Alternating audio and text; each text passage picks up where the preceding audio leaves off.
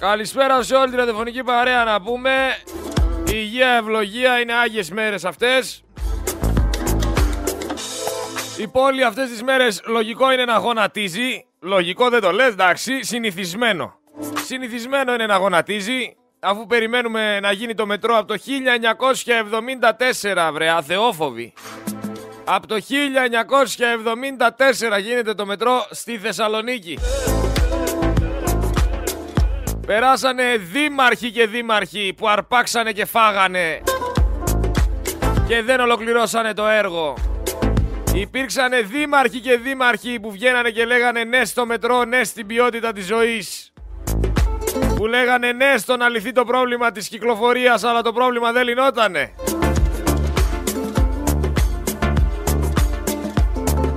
Αυτοί να κάνουν τη ζωάρα τους, παντού να τους προσέχουν, να τους περιμένουν, να τους ε, έχουν προσκεκλημένους, να τους τιμάνε γιατί; Τι κάνανε; Δεν κάνουνε καν αυτό που πρέπει να κάνουνε, διότι πλέον στην Ελλάδα θεωρούμε ότι κάνει έργο ο δήμαρχος, άμα κάνει οτιδήποτε και τον λέμε και ευχαριστώ. Η δουλειά του είναι. Η δουλειά του είναι να αναλάβει ένα τοπό, να τον εξελίξει, να μπορέσει να λύσει τα προβλήματά του. Η δουλειά του είναι και πληρώνεται γι' αυτό. Δεν θα πούμε σε κανέναν ευχαριστώ που κάνει τη δουλειά του. Πληρώνεται. Και πολύ καλά μάλιστα. Επειδή όλοι είναι άεργοι, λέμε πλέον ευχαριστώ γιατί είναι ο, καλότερο, ο καλύτερος άνθρωπος ο άλλος όταν κάνει κάτι. Για να καταλάβετε πού φτάσαμε. Θα επικεντρωθώ λίγο στο Θάνο Πλεύρη, ο οποίος την τώρα την Πακογιάννη στους Μαρινάκηδες και σε όλους τους άλλους δεν λέει τίποτα. Και πλέον σε αυτή την κοινωνία, από ό,τι φαίνεται, οι άνθρωποι είναι άρρωστοι. Κολλήσανε εγωισμό και βήχουν άποψη για όλα. Χωρίς να έχουν ιδέα. Άλλο φίλε μου είναι ο φτωχός και άλλο είναι ο φτωχομπινές. Άλλο είναι ο ικανός και άλλο είναι ο καταφερτζής. Άλλο πάει να πει αξιοποιώ και άλλο πάει να πει εκμεταλλεύομαι. Άλλο είναι το να είναι κάποιος αρσενικός και άλλο άνδρας. Άλλο θηλυκό και άλλο βίζιτα. Υπάρχουν πολλές διαφορές που δεν έχει καταλάβει έξω η κοινωνία. Και αυτό συμβαίνει γιατί χάνουμε τα ήθη, χάνουμε την ταυτότητά μας. Με πολύ γρήγορους ρυθμούς. Αυτό είναι που θα μας αφανίσει. Το ότι δεν θα έχουμε ταυτότητα. Σε πετάχτηκαν τώρα η, Λερναία Ήδρα, ξέρετε, άμα τη κόψεις στο κεφάλι, βγάζει δύο κεφάλια. Αν κόψεις και τα άλλα δύο κεφάλια, βγάζει τέσσερα κεφάλια. Κάπως έτσι λειτουργεί και η Νέα Δημοκρατία. Λερναία Ήδρα λοιπόν είναι η Νέα Δημοκρατία. Και το Πασόκ και όλα αυτά τα κομματάκια. Γιατί διαγράφουνε κάποιον από τη Νέα Δημοκρατία. Σαν παράδειγμα το φέρνω τώρα. Με το που τον διαγράψουνε, φεύγει, πάει να κάνει κόμμα. Δικό του κόμμα. Και αυτό το κόμμα μην μου πείτε ότι δεν ξέρετε ποιον θα υποστηρίξει, τη Νέα Δημοκρατία θα υποστηρίξει. Κάπως έτσι μαζεύτηκαν κάτι... Κάτι τυπάκι που ενώνουν δυνάμεις επειδή και οι δύο διαγραφτήκανε. Κάνανε κάποιο... Κάποιο κομματάκι κι αυτοί για να πάνε για τα 800 χιλιάρικα. Γιατί ξαναλέω, άμα, άμα πάρεις ένα συγκεκριμένο ποσοστό στην Ελλάδα, παίρνεις και λεφτά. Έφτιαξε τώρα η κάθε τρύπα του ζουρνά και από ένα κόμμα διχάζει τον κόσμο, πουλάει ελπίδα στον κόσμο, ενώ είναι η Νέα Δημοκρατία με μάσκα. Κατεβάζει υποψήφιους και όλους εδώ πέρα Rotary Club, γιους στρατηγών. Ξέρετε τώρα το παρεάκι ποιο είναι. Τους κατεβάζει και αυτούς και σου λέει άντε να πάρουμε ένα ποσοστό χυψή, να, να πάρουμε τα φράγκα, να κάνουμε κι εμείς τίποτα. Τι νομίζετε ρε χαζί είναι; Το θέμα είναι ο κόσμος να ξυπνήσει και να δει ποιον έχει απέναντί του. Έχει απέναντί του αυτόν που διαγράφηκε από τη Νέα Δημοκρατία, αυτόν που διαγράφηκε από το Πασόκ, έχει απέναντί του τους Μπογδάνους, έχει απέναντί του τον έναν, έχει απέναντί τον άλλον. Εκατό κόμματα κάνατε βρε. Εκατό κόμματα κάνατε. Να μπείτε όλοι στη Βουλή, να υποστηρίξετε τη Νέα Δημοκρατία. Φτάνει τόσο, ο κόσμος έχει ξυπνήσει, δεν πρόκειται να ψηφίσει. Ούτε Μπογδάνους, ούτε Τζίμερους, ούτε κανένα δεν πρόκειται να ψηφίσει. Γιατί είστε όλοι μαζί στο κόλπο χρόνια τώρα. Φτάνει βρε, αηδία καταντήσατε. Έχετε διχάσει τον κόσμο, τον έχετε καταστρέψει. Φτάνει. Γελί, για μένα πλέον γελί είστε. Δεν έχετε ρε, λίγη τσίπα πάνω σας. Λίγη τσίπα.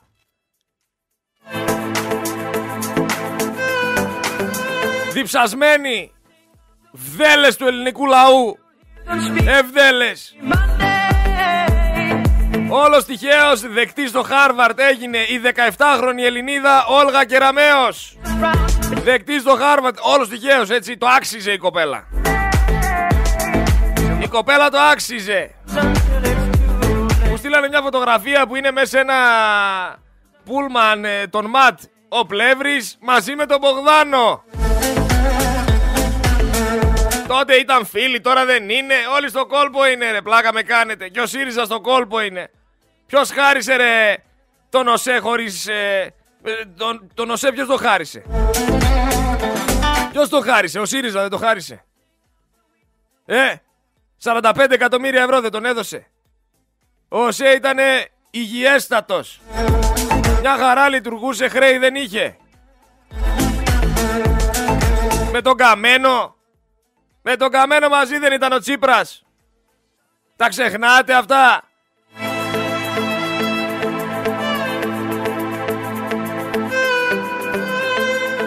Όλοι για τη μαρμίτα πάνε. Και μετά το 2022 ήρθαν εδώ πέρα οι γαλάζιες ακρίδες και δώσαν επιδότηση στον ιδιωτικό πλέον ΟΣΕ ετησίως 50 εκατομμύρια. Τυφλοί είστε, μουγγί είστε, τι είστε, κουφί, δεν θυμάστε.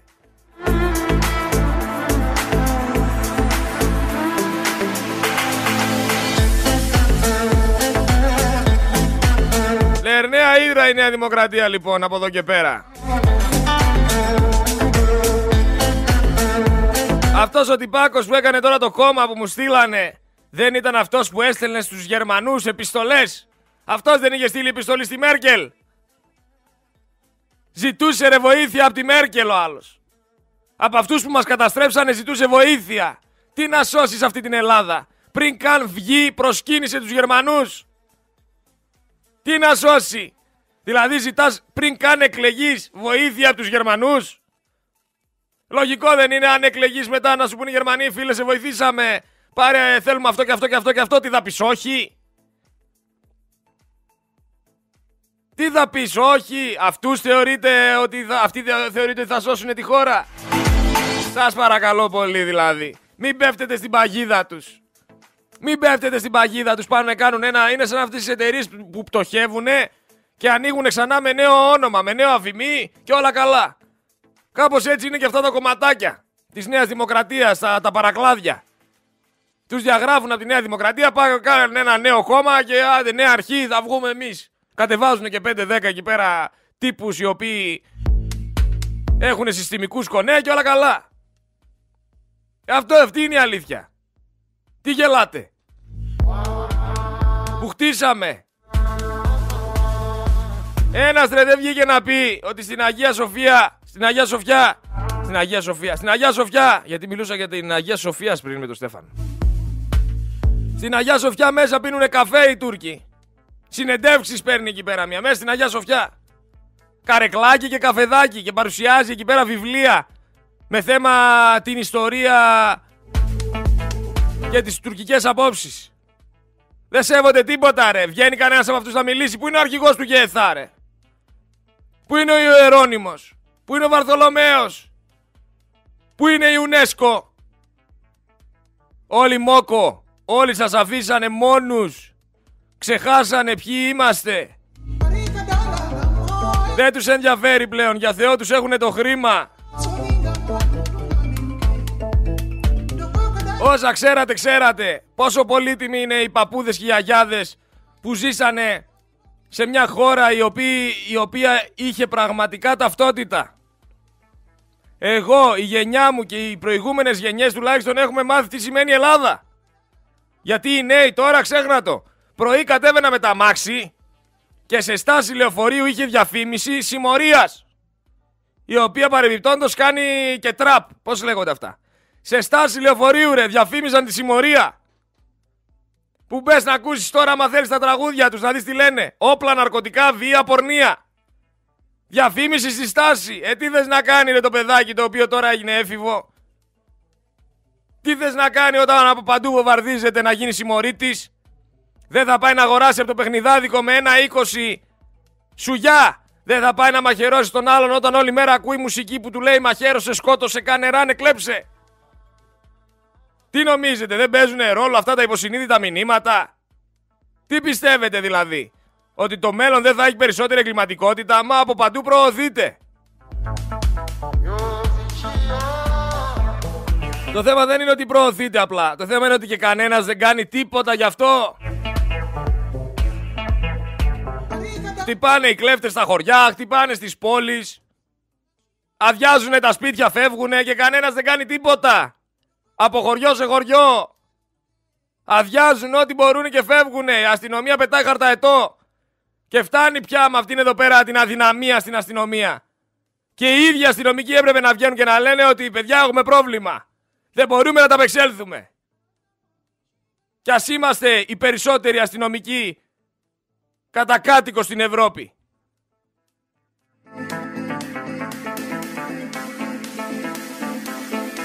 Δεν κατηγορώ τους ανθρώπους που δεν έχουν βγει στην Ευρώπη, ούτε ανθρώπους οι οποίοι δεν έχουν ταξιδέψει στο εξωτερικό για να δούνε μια άλλη εικόνα ενός κράτους. Δεν τους κατηγορώ αυτούς που έχουν μεγαλώσει εδώ και έχουν ζήσει εδώ, τιμή τους και καμάρι τους. Αλλά υπάρχει πολιτισμός έξω. Εδώ δεν υπάρχει. Εδώ ρε, τη διάβαση. Η διάβαση κανόνας είναι ότι αν πατήσει πεζό στη διάβαση, σταματάει το αυτοκίνητο. Για πάνε πέρνα τη διάβαση. Πάνε πέρνα διάβαση, ρε. Και άμα δεν σε πατήσει αμάξι, έλα να μου τρυπήσεις τη μύτη. Που άμα σε πατήσει κιόλας μπορείς να βάσει και ξύλο από πάνω. Γιατί εδώ δεν είμαστε Ευρώπη. Εδώ δεν είμαστε Βουλγαρία.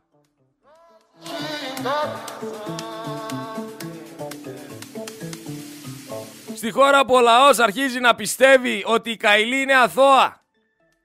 Αρχίζει να το πιστεύει. Κάποιος ρε παιδιά, ο φανταστικός της φίλος πήρε το σεντόνι της, έβαλε από κάτω 1,5 εκατομμύριο, δεν μπορούσε να κλείσει μάτι όλη νύχτα.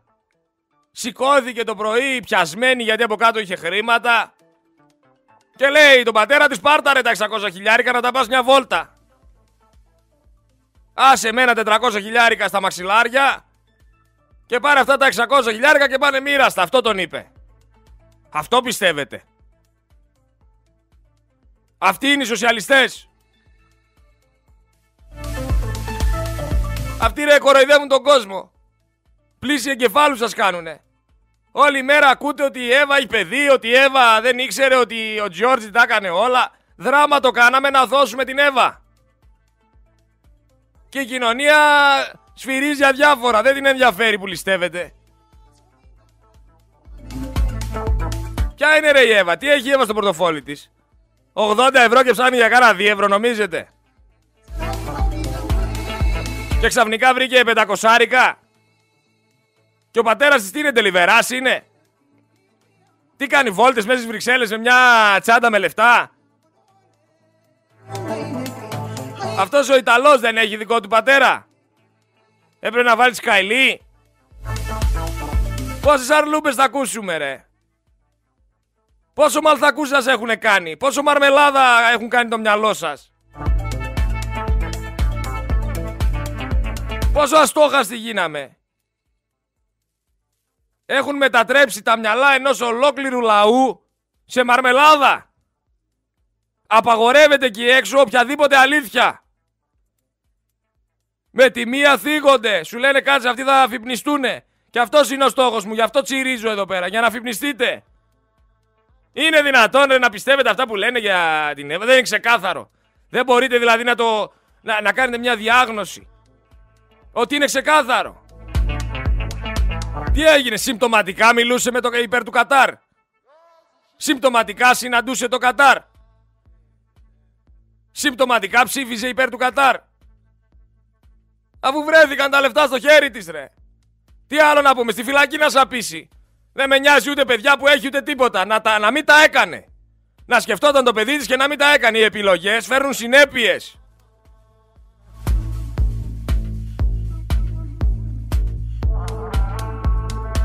Ε, μα! Μόνο να παρπαρίζετε ξέρετε. Δεν ξέρετε ρε φίλε να διακρίνετε την αλήθεια. Μία είναι η αλήθεια. Σας πετάνε κάτι στο πιάτο και αμέσως πέφτετε να το φάτε. Μέσα στην παγίδα κατευθείαν. Δεν επεξεργάζεστε τίποτα.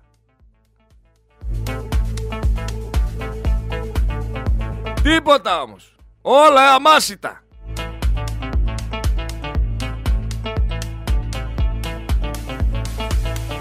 Μαύρα Χριστούγεννα πέρασε η Καηλή. Γράφουν όλα τα μέσα μαζικής ενημέρωσης αυτό. Μαύρα Χριστούγεννα για την Καηλή. Η Καηλή τα πέρασε μαύρα γιατί έκανε ξέπλυμα χρήματος και φυλακίστηκε. Ο Έλληνας, ο οποίος του πήραν το σπίτι για 15 χιλιάρικα και κοιμάται έξω από καταστήματα στην Αθήνα. Δεν πέρασε μαύρα Χριστούγεννα. Γι' αυτό να δεν σχολιάζουμε κάτι. Το ότι δεν υπάρχουν κοινωνικές δομές. Το ότι δεν αναλαμβάνει κανένας να φροντίσει κάποιους ανθρώπους οι οποίοι δεν μπορούν να τα απεξέλθουνε. Το θέμα είναι τι χρώμα Χριστούγεννα έκανε η Καηλή ή το 84% των Ελλήνων που δικαιούνται το food pass. Για να ξέρω ρε φίλε. Εκτός κι άμα η κυβέρνηση πιστεύει ότι τα παιδάκια πλέον γράφουν γράμμα στον Άι Βασίλη και λένε δεν χρειάζομαι τίποτα. Είμαι καλυμμένος από παντού. Έρχεται η ανάπτυξη στην Ελλάδα, ευχαριστούμε τον Άδωνη.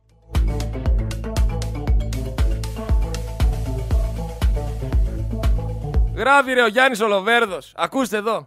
Η ελπίδα λέει που έφερε ο Κυριάκος Μητσοτάκης και η ελπίδα της γέννησης του Θεανθρώπου αντανακλά στα χαρούμενα πρόσωπα όλων των Ελλήνων. Στα χαρούμενα πρόσωπα όλων των Ελλήνων. Που τα ψυχολογικά προβλήματα να μην σας πω πόσο τα κάτω πάνω είναι. Προχωράμε, συνεχίζει και γράφει, με το λαμπερό μας αστέρι τον Κυριάκο Μητσοτάκη να μας οδηγεί. Και θέλετε να μου πείτε εσείς ότι άμα του ζητήσει αυτού του ανθρώπου ο Μητσοτάκης να του κάνει στοματικό δεν θα του κάνει. Έλα ρε φίλε τώρα. Α σοβαρευτούμε λίγο. Α σοβαρευτούμε λίγο. Και ακόμα τους αφήνετε ελεύθερους. Δεν περνάνε μια ψυχολογική αξιολόγηση. Αν υπήρχε κράτος, αν υπήρχαν κοινωνικές δομές, αυτούς τους ανθρώπους θα έπρεπε να τους βάλουν να τους φροντίζουν. Με συγκρίνεις τώρα τον Ιησού Χριστό με τον Κυριάκο Μητσοτάκη, το λαμπερό μας αστέρι, και δεν τρέπεσαι λίγο να γράφεις αυτά τα πράγματα. Πόσο γλύφτης είσαι, ρε. Πόσο ξεφτύλας είσαι για να κάθεσαι να γράφεις τέτοια πράγματα. Δεν τρέπεσαι. Δεν τρέπεσαι ρε.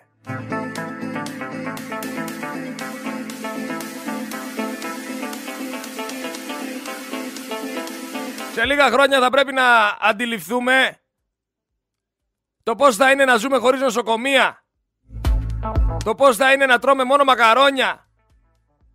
Πώς θα είναι να τρώμε με κουπόνια ρε. Το χαμόγελο θα είναι κάτι που δεν θα βλέπεις συχνά.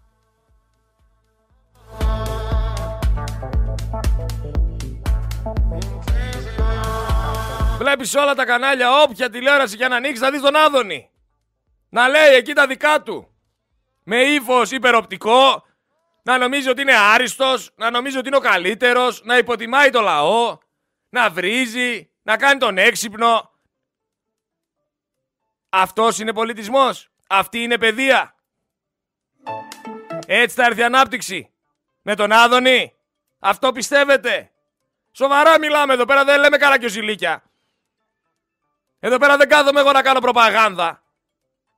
Ούτε φοράω γαλάζια γραβάτα, ούτε κόκκινη γραβάτα, ούτε γκρι, ούτε τίποτα. Εγώ είμαι ουδέτερος. Και ρωτάω τους Έλληνες πολίτες και όσους ακούνε Focus FM εκεί πέρα έξω.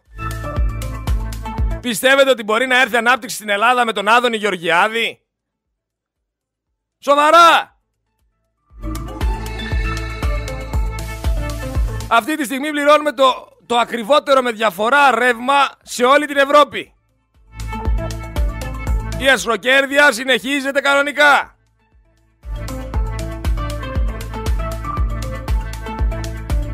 Και δεν φτάνει μόνο η αστροκέρδεια. Έχουμε και σε, σε σχολεία, σε δημοτικά εκεί στην Καλαμαριά να παρουσιάζουν drag queen και να προωθούν την ομοφιλοφιλία, να περνάνε υποσυνείδητα μηνύματα. Δεν φτάνει που έχουμε όλα αυτά. Έχουμε και τους ομοφιλόφιλους, έχουμε τη ΛΟΑΤΚΙ κοινότητα που θέλουν ντε και καλά να μας πείσουν να αποδεχθούμε ότι είναι φυσιολογική. Το λέει η λέξη φυσιολογική. Μπορώ να δεχθώ ότι ζητάς να σεβαστώ κάποια βίτσια σου. Τα οποία βίτσια σου εμένα δεν με αφορούν. Κάνε ό,τι θες στο κρεβάτι σου. Δεν σημαίνει όμως ότι πρέπει ντε και καλά να κάνεις και τα παιδιά μου ομοφυλόφιλα επειδή εσύ αυτά έχεις αυτά τα βίτσια. Ότι ντε και καλά πρέπει με το έτσι και θέλω να περάσει αυτή η νοοτροπία παντού. Αυτό είναι φασιστικό. Είναι ξεκάθαρα φασιστική αυτή η νοοτροπία της ΛΟΑΤΚΙ κοινότητας να επιβάλλει την ομοφιλοφιλία παντού, να επιβάλλει drag queen, τραβεστή και πάει λέγοντας. Είναι φασισμός. Φασισμός ο οποίος βασίζεται πού; Στα δικαιώματα. Όπως εσύ έχεις δικαίωμα, έτσι έχω και εγώ δικαίωμα. Και εγώ ξέρω ότι είναι φυσιολογικό, εσύ δεν ξέρεις.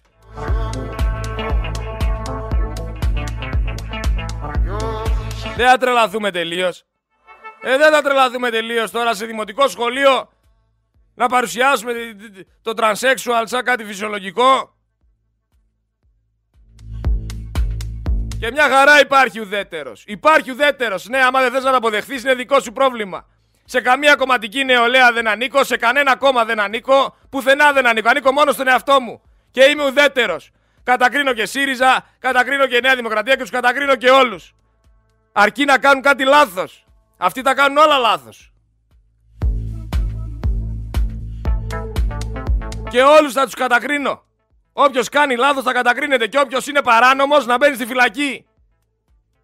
Αλλά εδώ δεν μπήκε ο Λιγνάδης, ρε. Εσύ που έγραψες αυτό το σχόλιο, για πες μου, πού είναι ο Λιγνάδης, ρε; Πού είναι ο Λιγνάδης, τι κάνει σήμερα ο Λιγνάδης, απάντησέ μου, ξέρεις; Πες μου, πού είναι ο Λιγνάδης, τι κάνει ο Λιγνάδης; Περιμένω την απάντησή σου. Ο ελεύθερος Λιγνάδης, ο καταδικασμένος Λιγνάδης. Πού είναι και τι κάνει, ξέρεις; Δεν ξέρεις. Και ούτε θα μάθεις. Γιατί αυτή είναι η δικαιοσύνη στην Ελλάδα.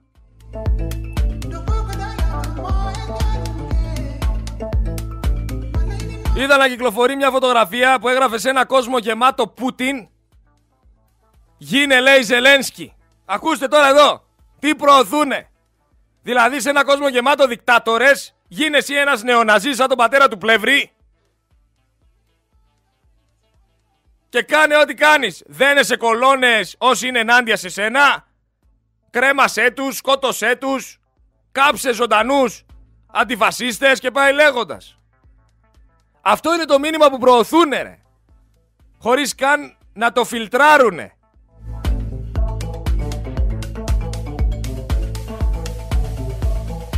Ό,τι σας πετάνε στο πιάτο, με αυτό ασχολείστε.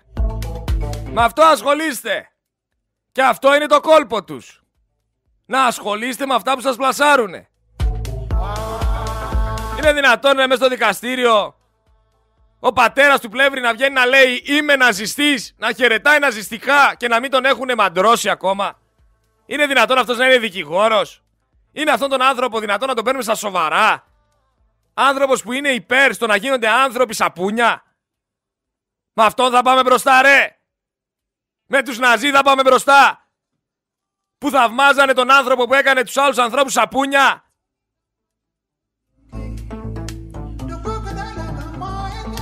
Καθίστε διαβάστε, καλλιεργήστε το μυαλό σας. Εγώ ονειρεύομαι μια Ελλάδα ισχυρή με πολιτισμό, με παιδεία. Να σέβεται ο ένας τον άλλον. Να βοηθάει ο ένας τον άλλον. Με αυτές τις τακτικές νεοναζί όχι αντίφα, όχι το ένα, όχι το άλλο. Μόνο διχόνια θα υπάρχει, τίποτα παραπάνω. Μόνο διχόνια.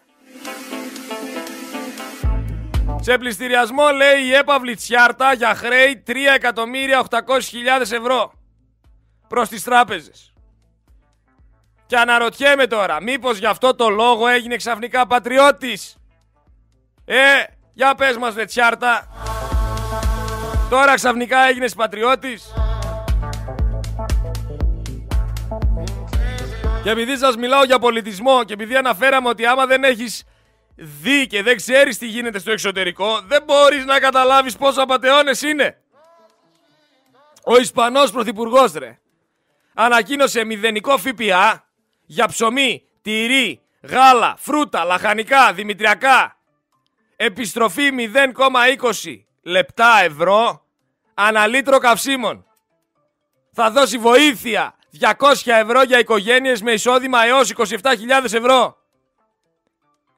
Αύξηση των ενοικίων 2% και επιδότηση μετακινήσεων. Αυτός ο Ισπανός Πρωθυπουργός είναι ένας Πρωθυπουργός ο οποίος κατανοεί την κοινωνία. Μηδενικό ΦΠΑ ξαναλέω για ψωμί, τυρί, γάλα, φρούτα, λαχανικά, δημητριακά και επιστρέφει 20 λεπτά ένα λίτρο καυσίμων. Και βοήθεια 200 ευρώ για οικογένειες με εισόδημα έως 27.000 ευρώ. Αυτή είναι η διαφορά ρε με τον απατεώνα που έχουμε εμείς. Ότι αυτός ενδιαφέρεται για την κοινωνία. Ενδιαφέρεται για τα λαό του, δεν ενδιαφέρεται για την τσέπη του. Αλλά ποιος θα σας τα πει αυτά στην τηλεόραση ρε; Θα σας τα πει κανένας. Μα δεν τους συμφέρει. Όλοι είναι στελέχοι της Νέας Δημοκρατίας.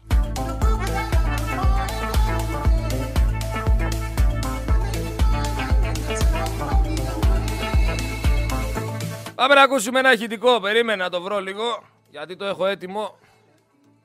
Πάμε να ακούσουμε ένα ηχητικό για να καταλάβετε πώς λειτουργούν αυτοί οι άνθρωποι.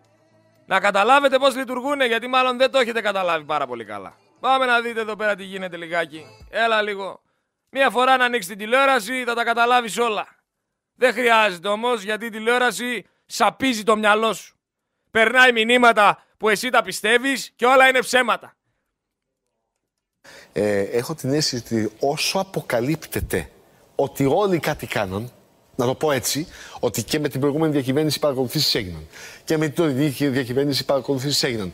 Ανεξάρτητα με το πώς, το γιατί, ε, ποιος, ε, αυτό είναι σε δεύτερο χρόνο, τόσο ξεθοριάζει ως προς ε, ως το ειδικό του βάρος ε, ενώπιση των εκλογών. Να το πούμε, να το πούμε με ε, δύο λέξει. Αυτή είναι η αίσθηση. Μπορεί να έχω λάθος, αλλά αυτή είναι η αίσθηση ναι, σήμερα. Να, το, να σου απαντήσω με δύο λέξεις. Δηλαδή, στα Χριστουγεννιάτικο τραπέζι δεν πήγαν και σε πολλά, σε δύο-τρία οικογενειακά ήμασταν. Δεν το συζητήσαμε, Δημήτρη μου. Ναι. Και ήταν άνθρωποι από όλους τους χώρους. Συζητήσαμε την κρίση, την ακρίβεια, το ήλιον, τα φάρμακα, τις γρήπες. Τις παρακολουθήσεις δεν επέλεξε κάποιος να τις βάλει στο τραπέζι μεταξύ τυρού και αχραδιού. Αυτός ο άνθρωπος αυτή τη στιγμή που τον ακούτε να μιλάει δεν προσπαθεί να καλύψει τους φίλους του. Δεν προσπαθεί να καλύψει τον κύκλο του για αυτά που κάνανε με τις παρακολουθήσεις. Ειλικρινά πείτε μου, δεν το καταλαβαίνετε ότι προσπαθεί να καλύψει, προσπαθεί να μπαλώσει, προσπαθεί να σώσει; Ε, έχω την αίσθηση ότι όσο αποκαλύπτεται. Ποια αίσθηση έχεις, βρε υποκριτή; Έχεις και αίσθηση; Καμία αίσθηση δεν έχεις. Βαλτός είσαι ένα να κάνεις ξέπλυμα. Πλυντήριο όρθιο είσαι. Ότι όλοι κάτι κάνουν, να το πω έτσι, ότι και με την προηγούμενη διακυβέρνηση παρακολουθήσεις έγιναν. Και με την τωρινή διακυβέρνηση παρακολουθήσεις έγιναν.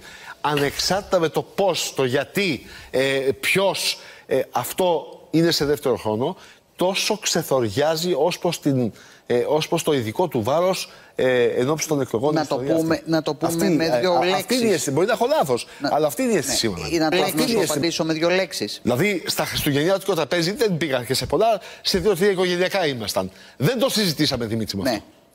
Και ήταν άνθρωποι από όλους τους χώρους. Συζητήσαμε την κρίση, την ακρίβεια, το ήλιον, τα φάρμακα, τις γρήπες. Τις παρακολουθήσεις δεν επέλεξε κάποιος να τις βάλει στο τραπέζι μεταξύ τυρού και αχραδιού. Αυτή είναι στελέχη της Νέας Δημοκρατίας. Το ξεκαθαρίζουμε, το λέμε, δεν χρειάζεται να επαναλαμβανόμαστε. Όχι άλλη κοροϊδία, λέει το Σωματείο Ελλήνων Ιθοποιών. Τα λυκειόπαιδα στο δρόμο και πάει λέγοντας. Μαζευτήκανε, κάνανε και πορεία. Πού ήτανε, ρωτάω εγώ, το Σωματείο Ελλήνων Ιθοποιών όταν βγάζαν από τη φυλακή το Φιλιππίδη. Πού ήτανε; Γιατί δεν βγήκε δημόσια να μιλήσει. Να πει την άποψή του. Αλλά μόνο όταν φτάσει ο κόμπος στο χτένι ξεκινάνε και επαναστατούν όλοι. Πριν από τον κόμπο ούτε καν θα κουνήσουν το πόδι τους. Στη χώρα όμως που έχεις υπουργό υγείας στον Τζαρλατάνο που, που δίνει προστήματα από μια φωτογραφία για να μπορεί αύριο μεθαύριο ένας νεοδημοκράτης να λέει ναι αλλά ο Πλεύρης έδωσε πρόστιμο στον Μπισμπίκη για το τσιγάρο στα μπουζούκια. Δεν ασχολήθηκαν όλοι αυτοί με τα διευκρίνηστα ποσά, ασχολούνται με το διευκρίνηστο τσιγάρο. Ο Πλεύρης δεν έχει κανένα πρόβλημα με τη διάλυση του εσύ, αλλά μη δει τσιγάρο σε φωτογραφία στα μπουζούκια, εκεί τρελαίνεται. Παρεμπιπτόντως, ξέρετε μήπως την Εβίτα Βαρελά, η δικηγόρος όλων των αστυνομικών, αυτή που έτρεχε πρώτη πρώτη πριν τον Κούγια να δικαιώσει όλους τους συστημικούς, πλέον είναι υποψήφια με τη Νέα Δημοκρατία. Μην πέφτετε από τα σύννεφα. Πάρα πολύ εκεί πέρα έξω ξέρετε αυτά τα αντισταμινικά φάρμακα. Τα ξέρετε ποια είναι, να μην αναφέρω ονόματα τώρα. Είναι κάποια συγκεκριμένα που έχουν σώσει κόσμο και κόσμο. Και παιδάκια. Και όσοι εκεί πέρα έξω, όσοι εκεί πέρα έξω έχουν σοβαρές αλλεργίες. Ξέρουν ποια είναι αυτά τα χαπάκια, ξέρουν ποια είναι η αγωγή που παίρνει κάποιος που έχει αλλεργίες τέλος πάντων. Πλέον να ξέρετε ότι σιγά σιγά στα φαρμακεία σταματάει να υπάρχει αυτό το χαπάκι. Αυτό το πόσιμο διάλειμμα το αντισταμινικό που σας σώζει από τις αλλεργίες. Οπότε σε κάποια περίπτωση που πάθετε αλλεργία και πάτε στο φαρμακείο και δεν βρίσκετε αντισταμινικά, να δείξετε τον πλεύρη. Γιατί ο πλεύρης φταίει. Επίσης το Θάνο τον πλεύρη θέλω να τον, να τον προκαλέσω να γκουγκλάρει Vianex. Γκούγκλαρε λίγο Vianex. Πάρε τηλέφωνο, ζήτα τον κύριο Δημήτρη, ο οποίος κάπνιζε μέσα στο νοσοκομείο και υπάρχουν φωτογραφίες. Θα του δώσεις αυτού πρόστιμο. Ή αυτό να δεν τον ακουμπάς, όπως και το Μαρινάκι, όπως και την Πακογιάννη. Εκεί δεν σε παίρνει. Αυτός είσαι. Όπου σε παίρνει σε κάτι μπισμπίκιδες που έτυχε τώρα να πάρουν δημοσιότητα επειδή η Βανδύ βαρέθηκε τον Τέμι.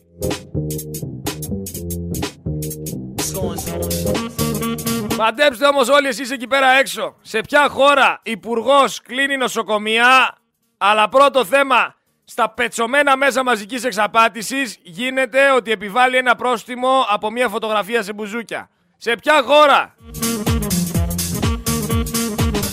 Ρε το νοσοκομείο παιδών Αγία Σοφία έχει χειρουργία τα οποία θα γίνουν μετά από 4 χρόνια. Το χειρουργείο 160 συγκεκριμένα θα γίνει σε 4 χρόνια. Βγήκε χειρούργος από εκεί πέρα και λέει αυτή τη στιγμή λέει περιμένουν 160 παιδιά να χειρουργηθούν από εμένα. Κάνω λέει ένα χειρουργείο την εβδομάδα, δηλαδή 4 το μήνα, περίπου 40 το χρόνο.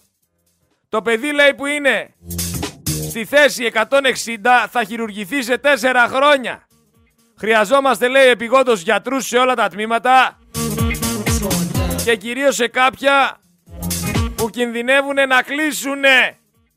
Και αντί ο Πλεύρης να ασχοληθεί με τους υγειονομικούς σε αναστολή, να ασχοληθεί με τα νοσοκομεία αυτά που έχουν ανάγκη και να βρει λύσεις, ασχολείται με τον Μπισμπίκη ρε. Αυτός είναι ο ανίκανος υπουργός Υγείας. Γιατί είσαι ανίκανος; Και να σου πω κάτι, σε καταλαβαίνω κιόλας που είσαι ανίκανος. Γιατί, γιατί δεν είσαι γιατρός, είσαι δικηγόρος. Σε πέταξε εκεί πέρα ένας ανίκανος πρωθυπουργός για να μπορέσει να κάνει την πίσνα του, για να μπορέσουν όλοι να βρίζουν εσένα.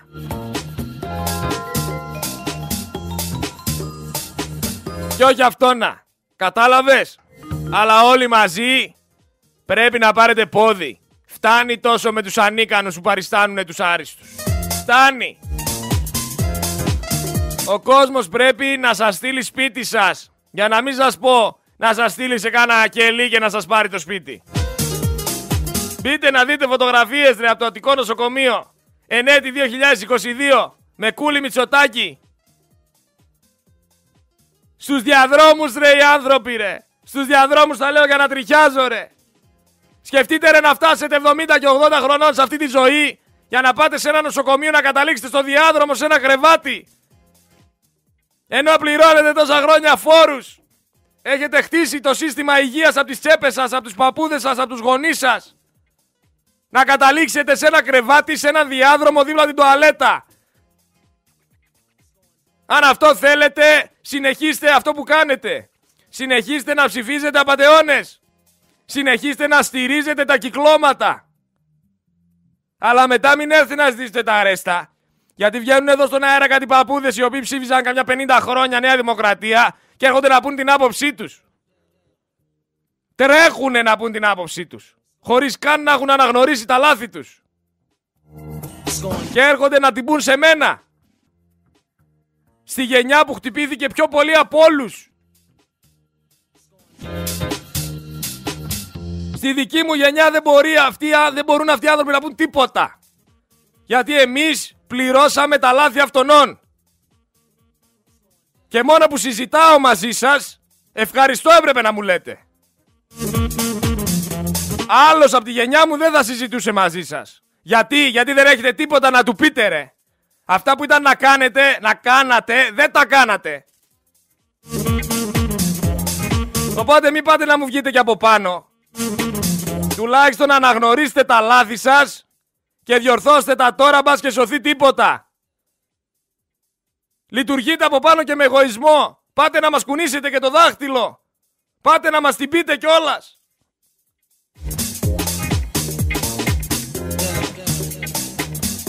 Αυτό πάει να πει να είσαι ξεροκέφαλος. Αυτό πάει να πει δεν καταλαβαίνω τι συμβαίνει. Δεν έχω αντίληψη.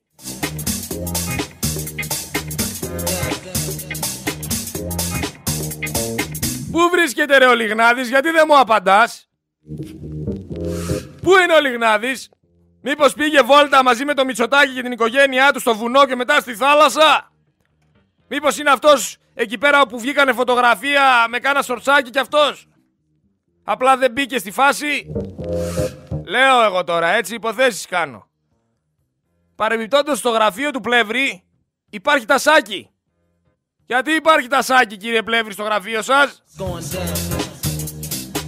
Κοροϊδία, τσίρκο και πάρα πολύ κλόουν. Τουλάχιστον εγώ 5-6 φορές που έχω πάει στο τσίρκο, στο κανονικό το τσίρκο, σε αυτά που έρχονται εδώ πέρα στην Ευκαρπία. Κλόουν ήταν 2-3 μέσα, οι οποίοι στα διαλύματα βγαίνανε και κάναν χαβαλέ με τον κόσμο. Εδώ έχουμε μπλέξει ρε. Η μισή Ελλάδα έχει καταντήσει κλόουν.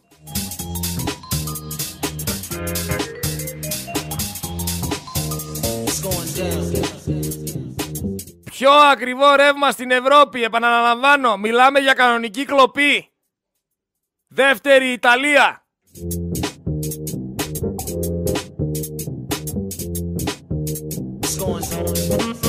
Όλες οι άλλες χώρες βοηθάνε τον κόσμο και τον κοσμάκι. Εδώ θέλουν να μας κάνουν φαβέλες.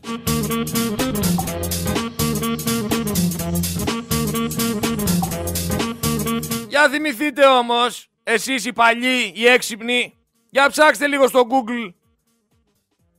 Με κυβέρνηση Σαμαρά είχαμε ελλείψεις φαρμάκων. Γιατί πάλι κάνανε δουλίτσες στην κυβέρνηση. Πάλι τα στέλνανε έξω και κονόμαγαν αυτοί και οι φαρμακευτικές. Και οι σύμβουλοι του Υπουργείου Υγείας και πάει λέγοντας Το ξέρουμε ρε το παραμύθι, τώρα θα το μάθουμε.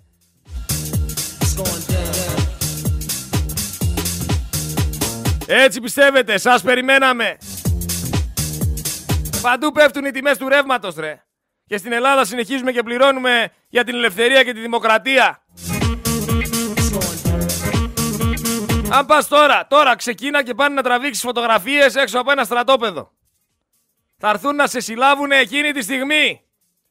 Εδώ λέμε ότι παρακολουθούσαν τον αρχηγό και εθάρε τα τηλέφωνα όλα, προσωπικές στιγμές και δεν ασχολείται κανένας. Δεν ανοίγει ρουθούνη.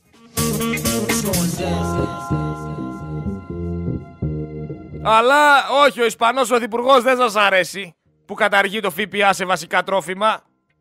Σας αρέσει ο Μητσοτάκης που είναι πιο πιθανό να καταργήσει τα τρόφιμα. Δηλαδή σοβαρά υπάρχει μία πιθανότητα ένας από όλους αυτούς να αυτοποκαλείται άριστος και όντως να είναι.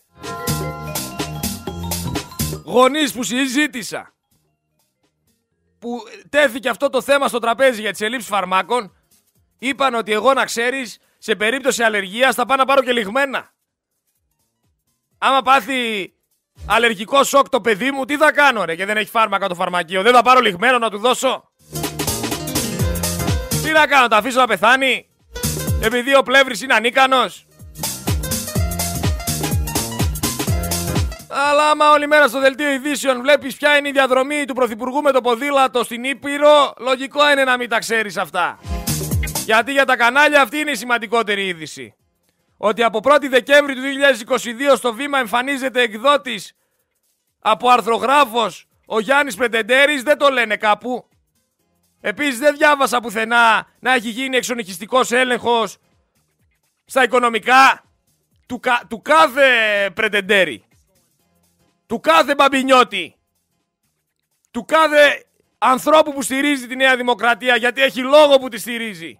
Δεν έχω γίνει να γίνεται σε κανέναν εξονυχιστικός έλεγχος. Μόνο στο Focus έρχονται. Στο Focus ξέρω όμως γιατί έρχονται. Γιατί λέμε αλήθεια. Γιατί βγάζουμε πράγματα να τα μάθει ο κόσμος που δεν τα βγάζει κανένας άλλος. Είναι ένας τρόπος το θεωρούν ότι μας απειλούν, ότι θα μας φημώσουν.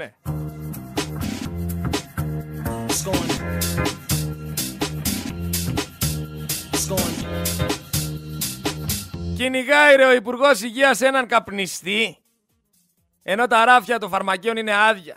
Από 500 βασικά φάρμακα, τα οποία πλέον είναι δισεύρυτα. Γίνεται αγώνας δρόμου ρε, για ένα κουτί. Δεν έχουμε αντιβιωτικά. Δεν έχουμε φάρμακα τα οποία περιέχουν αμοξικυλίνη. Κλαβουλανικό οξύ. Δεν έχουμε ρε τα βασικά, το καταλαβαίνετε. Αλλά ο Μπισμπίκης κάπνιζε. Συνεχίστε ό,τι κάνατε. Τετάρτη είναι.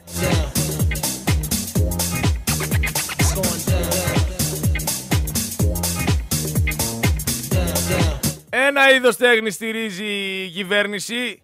Την τέχνη της ληστείας και το λέω αυτό για τους ηθοποιούς που ξεσηκωθήκανε. Τι τρελαίνεστε ρε. Για τα χαρτιά που πήρατε και ότι ο Ρουβάς έγινε ηθοποιός από το πουθενά. Και στην κυβέρνηση οι περισσότεροι απόφοιτοι λυκείου είναι. Τι να κάνουμε δηλαδή τώρα. Έχουν καταστρέψει, έχουν καταστρέψει με ό,τι τρόπο μπορούν ό,τι υπάρχει εδώ στην Ελλάδα. Μαζί με το ΣΥΡΙΖΑ, γιατί και ο ΣΥΡΙΖΑ δεν κάνει τίποτα γι' αυτό. Άρα εσείς συνεχίζετε να μαλώνετε σαν τα κοκόρια. Θέλω επίσης να αναφέρω ότι έγινε ένα προεκλογικό δώρο γιατί κοντεύουν οι εκλογές. Ένα τριμινάκι και έχουμε εκλογές. Μην ξεχνιόμαστε. Προεκλογικό δώρο λοιπόν Μητσοτάκη στο Άγιο Όρος. 2 εκατομμύρια ευρώ. Φραφ, τάσκασε. Δύο εκατομμυριάκια ζεστά, τα κουνούσε. Αλλά όχι ο Σάντσεθ που καταργεί το ΦΠΑ στα είδη βασικής ανάγκης είναι κακός. Έχει το ρεύμα στα 109 ευρώ, είναι κακός ο Ισπανός. Με κατώτατο μισθό στα 1200 ευρώ είναι κακός ο Ισπανός. Αλλά η καλή φιλελεύθερη κυβέρνηση Μητσοτάκη, η οποία δίνει 22 ευρώ το μήνα στον πολίτη, από το Φεβρουάριο και μετά, έχει το ρεύμα στα 250 ευρώ και ο κατώτατος μισθός είναι 713 ευρώ. Ο καλός Μητσοτάκης, ο κακός ο Ισπανός. Ρε, άμα θέλετε να υπάρξει πολιτισμός, δεν έχει σχέση το τι υποστηρίζει ο άλλος και τι ιδεολογία έχει. Έχει σχέση στο να είναι σωστός. Στο να τηρήσει αυτά που θα κάνει. Στο να, στο να τηρήσει αυτά που θα πει, που θα υποσχεθεί. Και να τα κάνει. Εσείς χειροκροτάτε εδώ πέρα τον ήδη ψεύτη. Σας έχει αποδείξει ότι δεν θα τα κάνει και συνεχίζετε να το χειροκροτάτε.